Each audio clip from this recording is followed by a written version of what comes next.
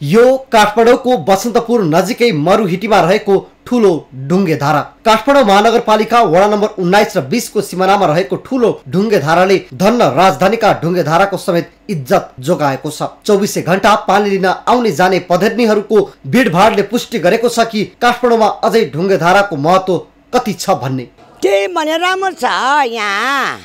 पानी कत्रो आउने यहाँ पानी आएन। के भएर गयो? अब घरको ठुल्ठुलो घर बनायो होइन?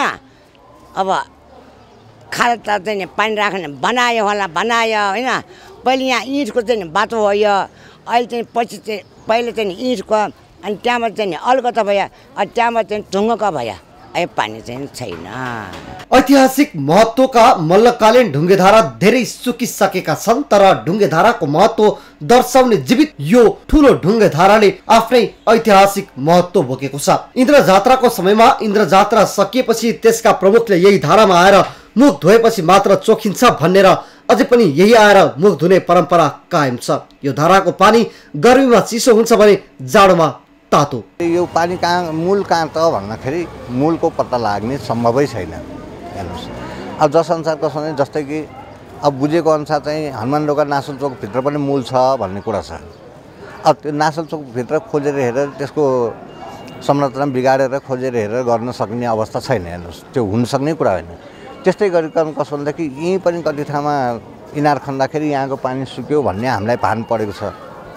त्यस विषयमा पनि अब बाजाबाज गर्नु अथवा चाहिँ कसैलाई दुःख दिनु त्यो पनि मिलेन हो कि होइन कन्फर्म छैन। अब उताको उताको धारा जुन छ त्यो त कसो भनेदेखि मान्नुहोस् कि पाँच इन्च पानी आउँथ्यो। मल्लकालीन समयमा बनेको ढुङ्गेधाराको भित्रको कला कौशल पनि गजबको छ। यस्तो ऐतिहासिक स्थलको संरक्षणमा सरकार उदासीन बन्नु र महानगरपालिकाले समेत ढुङ्गेधाराको संरक्षणका लागि कुनै पनि ठोस नियम ल्याउन नसक्दा काठमाडौँ उपत्यकाका ढुङ्गेधारा लोपन्मुख अवस्थामा छन्। अनियन्त्रित जराघनत्व र ढुङ्गेधारा वरपर समेत डिप बोरिङ जस्ता काम रोक्न नसक्दा यस्ता सम्पदा नाश हुने अवस्थामा पुगेका छन्। त्यसैले पनि यिनको संरक्षण सरकारले स्पष्ट नीति ल्याएर गर्न आवश्यक छ।